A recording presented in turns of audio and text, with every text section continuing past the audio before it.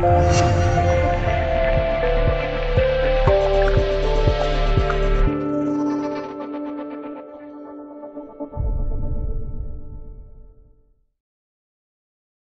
一九三九年战争爆发前，德国陆军最基层单位，也就是步兵班，已确定了人员编制：一名士官加上九名士兵。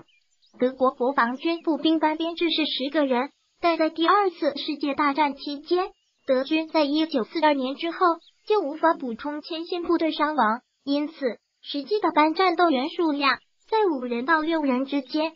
一九三九年战争爆发的时候，在编装表上班长的个人武器是九八 K 步枪，但到了一九四零年编装表修正，班长的个人武器就改成了 MP 三八冲锋枪。班长个人携行两个冲锋枪弹袋，每个弹袋中有三个三十二发子弹的弹夹。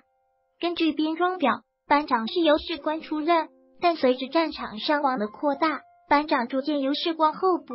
或是上兵出任。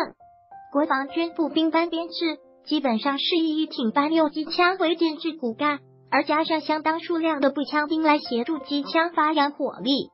德军步兵班编制中的机枪射手。G O N 一二幺 Sharpest Shooting Man，携带一挺多用途机枪，早期是 M G 三四，后期是 M G 四二，以及五十发弹带弹鼓。个人自卫武器则为一把手枪，早期是 P 零八，后期是 P 三八，以及简易的修护工具、备份零件和轻枪工具。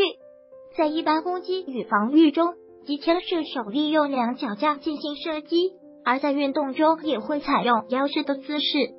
副射手携带四个五十发弹鼓、一个三百发的弹箱和两根预备枪管。副射手也携带手枪。在一般状况下，副射手负责给弹壳更换枪管，而当射手无法作战时，副射手就必须担任机枪射击的任务。步兵五共有六员，其中包括女长一人，每人在腰部弹袋中携带九十发子弹，每个弹夹五发和二至三枚手榴弹。总结以上各点，一个标准德国国防军步兵班的火力如下：轻机枪一子弹一千一百五十发，冲锋枪一子弹二十二，四发手枪二九八 K 步枪七子弹六百六十五发，接战时每人加八十五发，手榴弹十八。图片源自网络。